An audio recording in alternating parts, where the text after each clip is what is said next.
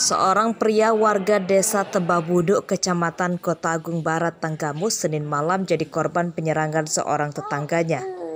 Korban bernama Suwardi 50 tahun dievakuasi ke Rumah Sakit Umum Daerah Batin Bangunang, Tanggamus. Ia menderita luka sabetan senjata tajam di kepala dan tangan kirinya putus akibat menahan sabetan senjata tajam pelaku. Menurut Kepala Desa Tebabuno, korban dan pelaku awalnya terlibat cekcok mulut saat keduanya bertemu di jalan. Tak terima keributan itu, pelaku kemudian mendatangi rumah Suwardi dan menyerang korban dengan senjata tajam. Penyebab keributan diduga masalah dendam lama. Jadi awal mulanya kan dia lewat sama-sama lewat, ada cekcok dikit, akhirnya bubar kan. Setelah dia balik, menurut korban ini dia balik langsung ditunggu dan ditebas pakai senjata. Itu Pak, informasinya apa aja sih Pak yang yang terluka Pak di bagian tubuh korban? Bagian muka, mukanya dan juga putus tangan kiri, sebelah kiri. Dari penggelangan tangan putus.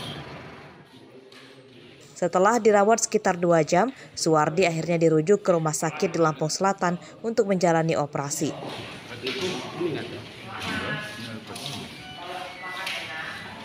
Uh, tadi emang sudah tata laksana sudah didampingi oleh dari kepolisian juga ya terus kita udah lakukan tindakan penata laksanaan terhadap perdarahan dan kegawat daruratan pada pasien dan ini memang sudah ditangani dengan baik di Rumah Sakit Batin Mangunang dan kita lakukan rujukan untuk penanganan lebih lanjut ke Rumah Sakit Airan Raya.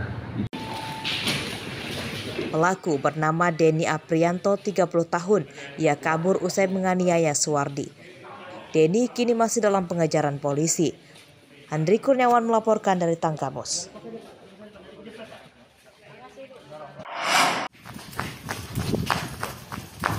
Bandar narkoba yang bersembunyi di sebuah rumah mewah di Menggala Tulang Bawang berlari ke pekarangan belakang saat mengetahui kedatangan polisi.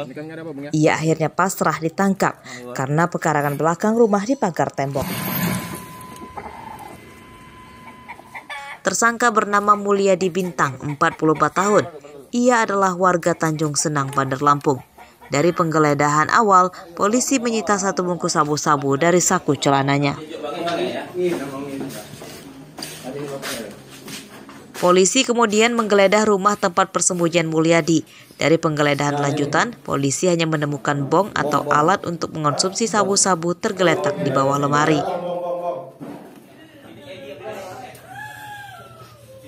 Penangkapan Mulyadi diwarnai isak tangis anak perempuannya. Ia dibawa masuk ke dalam rumah saat ayahnya digelandang ke mobil polisi.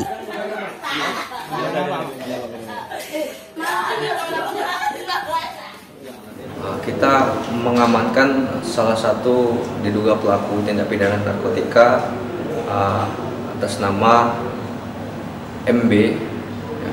Untuk barang bukti yang kami amankan yaitu satu paket narkotika jenis sabu. Untuk pada saat penangkapan, alhamdulillah tidak ada perlawanan.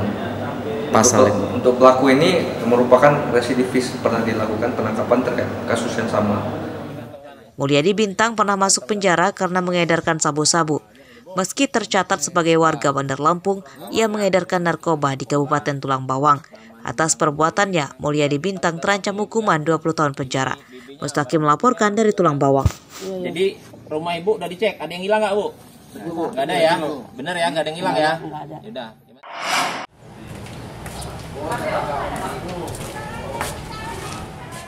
Seorang pengedar narkoba dibekuk polisi Polres Lampung Utara di sebuah acara pesta pernikahan di Kecamatan Sungkai Barat Selasa dini hari. Tersangka bernama Roni Sanjaya, warga desa Gunung Raja, Kecamatan Sungkai Barat. Roni ditangkap saat polisi membubarkan hiburan organ tunggal dan merazia sejumlah warga. Polisi menyita barang bukti 32 bungkus sabu-sabu siap edar dari kantong celana Roni Sanjaya. Barusan, Bang. Baru berapa lama? Baru Senin ini, Bang. Oh. Dari mana kamu modal untuk beli narkoba sebanyak itu? Pinjam, Bang. Pinjam. Iya. Kenapa kamu kok mau jual narkoba? Mau bantu adik rencana, Bang. Mau bantu apa? Acara. Acara apa? nikah. Polisi masih menelusuri pemasok narkoba kepada tersangka Roni. Selain itu, polisi juga akan meningkatkan pengawasan hiburan organ tunggal yang disinyalir sering jadi tempat transaksi narkoba. Polres melakukan kegiatan penertiban uh, organ tunggal yang dilaksanakan sampai malam dipimpin Pak Kapolres dan uh, gabungan dengan anggota Polsek dengan para uh, perwira. Jadi menghentikan kegiatan uh, hiburan yang sampai tengah malam. Polisi Lampung Utara kini melarang hiburan organ tunggal hingga larut malam. Ardio Haba melaporkan dari Lampung Utara.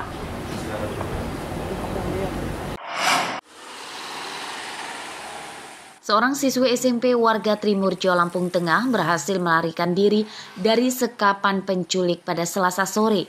Ia kabur saat mobil pelaku berhenti di lampu merah jalan perempatan kota metro yang berjarak belasan kilometer dari tempat penculikan. Korban bernama Rahma Safitri sudah kembali ke dekapan orang tuanya.